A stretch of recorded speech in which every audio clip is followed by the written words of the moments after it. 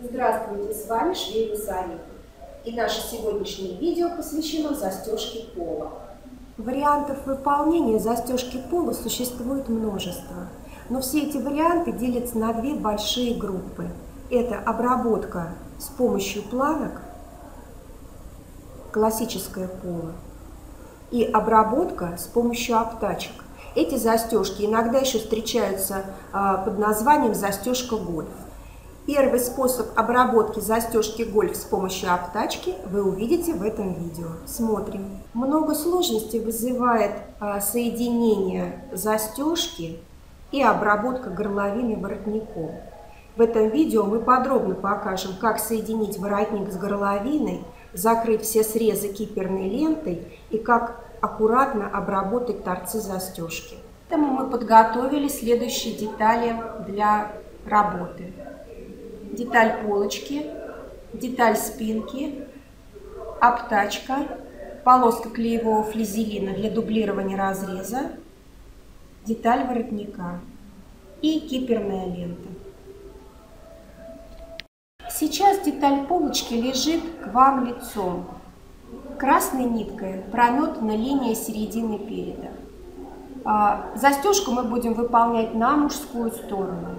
И зеленой ниткой, посмотрите, справа от линии середины переда у нас намечена линия разреза. Расстояние между серединой переда и линией разреза равно половине ширины планки в готовом виде. В данном случае полтора сантиметра обтачка разреза. Длина обтачки равна длина разреза, умноженная на 2, плюс 2 сантиметра на основку у горловины. Ширина этой обтачки равна двойная ширина застежки в готовом виде, плюс 1 сантиметр на обработку края и плюс 0,3 на притачивание обтачки к разрезу. Полоска клеевого флизелина будет укреплять у нас разрез с изнанки. То есть мы ее будем с вами подклеивать вот сюда. На детали полочки с изнанки проклеили линию будущего разреза полоской клеевого флизелина. А для того, чтобы не путаться, где у нас лицо, где изнанка, изнанку пометили, поставили отметку. То, что касается дублирования обтачки. Данный вопрос э, всегда решается индивидуально. Можно использовать тонкую клеевую прокладку на всю площадь планки. Можно проклеить только край, который будет притачиваться к разрезу. А если у вас ткань стабильная, то можно вообще не проклеивать, чтобы не утяжелять эту планку, не делать ее слишком плотной. Для того, чтобы нам рассчитать размеры воротника, нам нужно промерить длину среза горловины полочки плюс длину среза горловины спинки и умножить на 2. В данном случае у нас эта линия равняется 17 сантиметров, значит умножить на 2 34 сантиметра. И половина воротника вот эта вот линия втачивания в горловину у нас также равняется 17 сантиметров. Это половина воротника. Сгиб по средней линии и сгиб по линии отлета. А вот так будет выглядеть воротник в изделии. На детали полочки делаем разрез.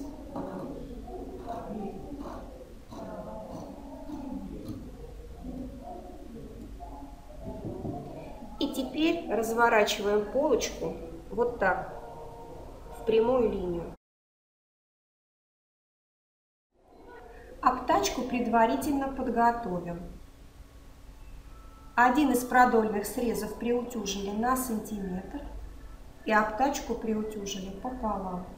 У обтачки находим середину. Поставьте здесь либо карандаш на отметку, либо булавочку. Ни в коем случае не делайте рассечки потому что ширина шва в данном случае будет 0,2-0,3 и рассечка в конце концов высыпется. И середину обтачки прикладываем вот к этой метке, которая обозначает конец разреза. И прикладываем ее со стороны середины переда. То есть вот таким образом. Середину планки совмещаем с концом разреза, фиксируем булавкой. И теперь скалываем планочку с разрезом.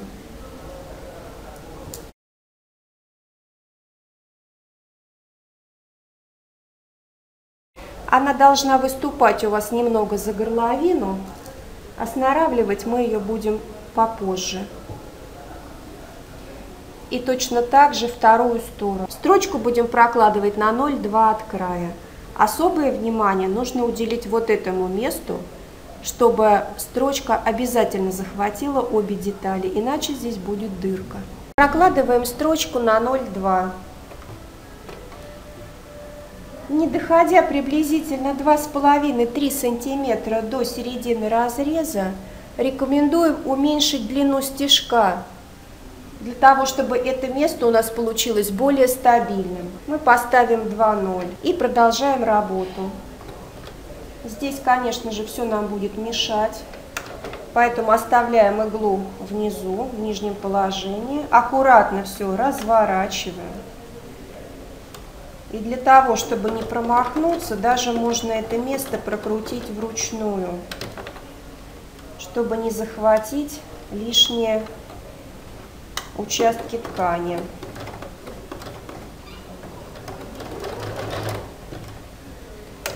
И дальше мы опять можем вернуться к строчке, которая у вас была выставлена с самого начала. А вот что должно у вас получиться. Строчка проложена на 0,2 от края. И в области середины разреза строчка захватывает оба слоя. И ткань полочки, и обтачку. Посмотрим с лица. Посмотрите, не должно быть вот на этом месте никаких заминов и защипов ткани полочки. Если получились, придется переделать. При пуске шва заутюжим на планку. Планку приутюжили, и вот так у нас будет выглядеть уже застежка в готовом виде. Вот посмотрите.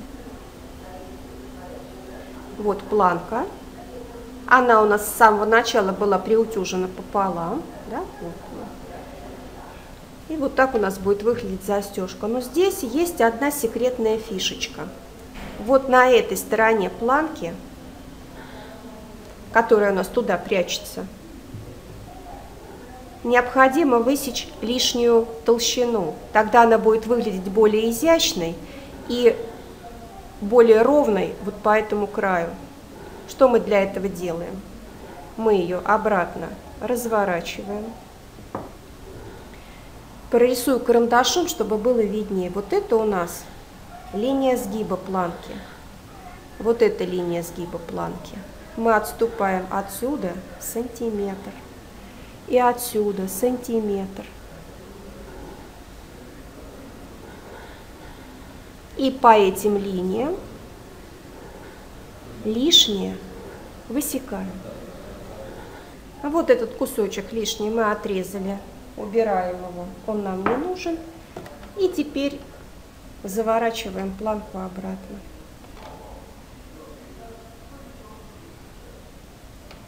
Таким образом мы избавились от лишней толщины, но срез у нас по-прежнему закрыт и выглядит аккуратно. На данном этапе обработку планок приостанавливаем и будем втачивать воротник в горловину. Для этого останавливаем торчащие планки по контуру выреза горловины с одной стороны. На нижней детали планки линия осноровки должна повторять контур горловины. Вот мы ее отмечаем карандашиком.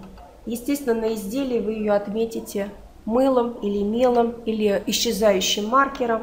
Главное, что она должна быть не прямой, а немного изогнутой. Переносим линию середины на нижнюю деталь планки.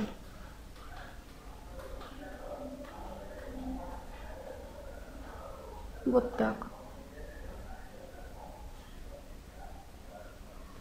Воротник начнем втачивать, отступив пару миллиметров от линии середины на верхней детали. И закончим втачивать, не доходя пару миллиметров до линии середины на нижней детали. Для изделий пола либо используют готовые вязаные воротники, тогда они полностью готовы к втачиванию в горловину – они однослойные, и края у них обработаны сразу. Если вы готовите воротник из трикотажа, тут надо решать вопрос, дублировать его или не дублировать. Подобные воротники можно делать из полоски рибаны, тогда, естественно, дублировать вы его не будете. Но если вы используете кулирку или кулирку с лайкрой, здесь на ваше усмотрение. Все-таки эти ткани тонковаты, и для того, чтобы воротник держал форму, лучше их продублировать тонкой трикотажной клеевой. В данном случае мы этого не делаем, это учебный образец. А, сейчас мы будем стачивать торцы воротника шириной шва 1 сантиметр.